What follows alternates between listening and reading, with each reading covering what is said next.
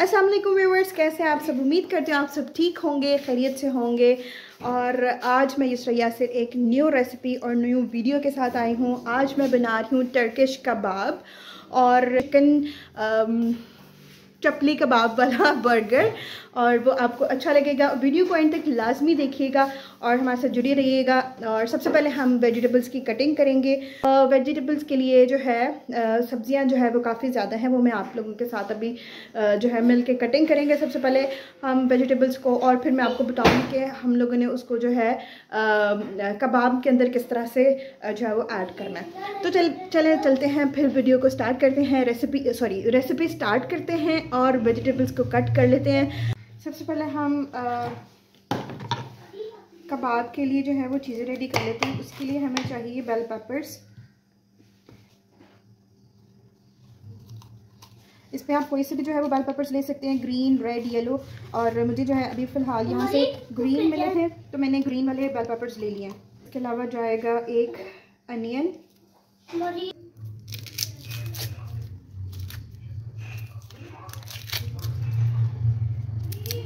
इसके हम लोग इस तरह से छोटे छोटे पीसेस कर लेंगे। हाँ इसके अलावा हम इसके भी बाल पेपर के भी छोटे छोटे पीसेस कर लेंगे। कैप्सिकम के सॉरी मेरे मुझे बार बार बेल पेपर निकल रहे क्योंकि मैं बेल पेपर लेने गई थी और मुझे मार्केट से मिले नहीं है। वहाँ पर रेड वाले मुझे मिले थे, लेकिन वो बहुत ज़्यादा मतलब कि पुराने लग रहे थे मुझे, इसलिए मैंने वो लिए नहीं। जी, ये हो गई चीज़ें। इसके अलावा इसमें ऐड करेंगे हम एक टमाटर।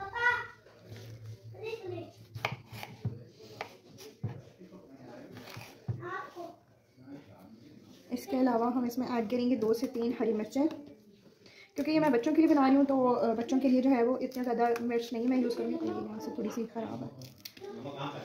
और यहाँ से मैं थोड़ी सी ये कैप्सिकम कम कम कर देती हूँ। जी। इसके अलावा इसमें जाएगा जिंजर गार्लिक ये बालों वाला है अदरक। तो मैं ये थोड़ा सा कम ही डाल रही हूँ, क्योंकि फिर वो आएँगे साथ साथ ही।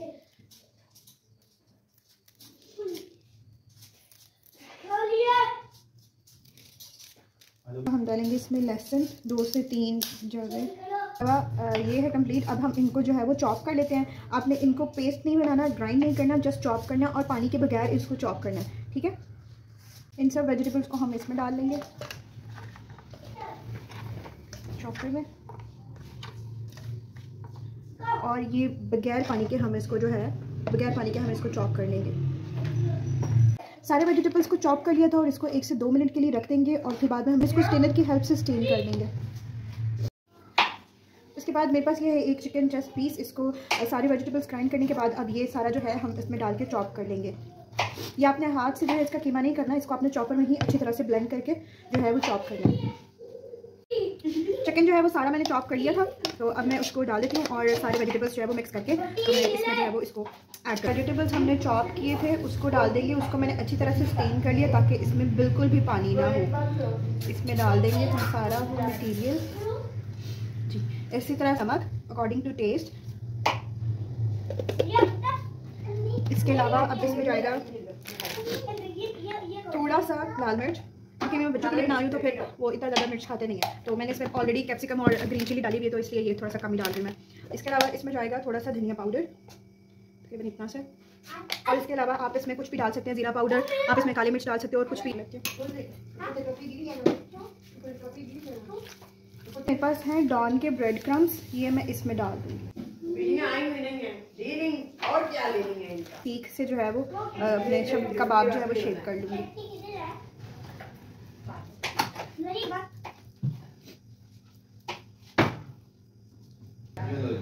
ये एक कबाब इस तरह से रेडी हो गया तो अब हम इसको जो है साथ साथ प्लेट में रखते जाएँगे और फिर इसको जो है हम लोग फ्रीज़ कर से जो है ये कबाब बन गए अब जैसे बाज़ार में होता है कि उस उन्होंने ऊपर से वो थोड़ा सा डिज़ाइन किया होता है हम लोग इतना प्रोफेशनल नहीं है कि हम लोग वो डिज़ाइन कर सकते तो, तो मैं इसको इस तरह से जो है वो प्रेस करूँगी तो ये आर्टिफिशियल जो है वो इसके ऊपर डिज़ाइन बन जाएगा। तो इसको जो है हम अब फ्रीज़ कर सकते हैं। और फ्रीज़ करने के बाद हम इसको फ्राई कर लेंगे या आपने इसको जो है वो बारबेक्यू करना हो तो आप इसको बारबेक्यू कर सकते हैं। तो इस तरह से सारे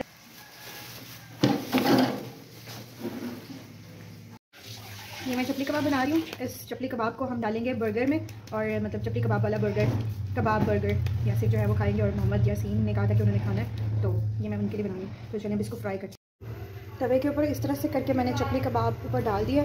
अब जैसे ये एक साइड से पकेगा तो फिर हम इसकी दूसरी साइड को टर्न कर देंगे। यहाँ से एक साइड से जो है वो फ्राई हो गया। अब हम इसकी साइड चेंज कर देंगे।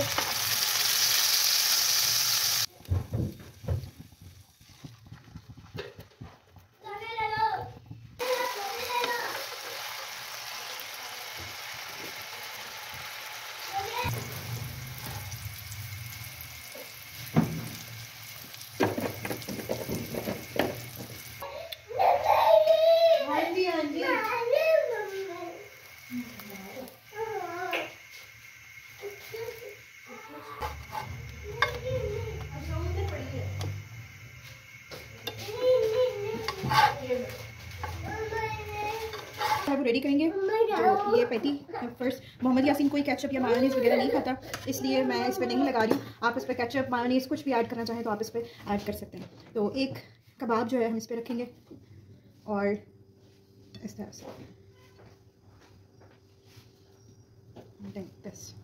मज़ेदार सा chicken chapli kebab burger ready